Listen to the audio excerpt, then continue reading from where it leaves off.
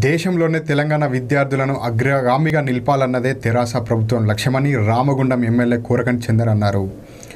గోదావరికని పట్టణంలోని ప్రభుత్వ బీసీ బాలికల హాస్టల్లో యాభై లక్షల వ్యయంతో నూతన భవన నిర్మాణానికి ఎమ్మెల్యే శంకుస్థాపన చేశారు.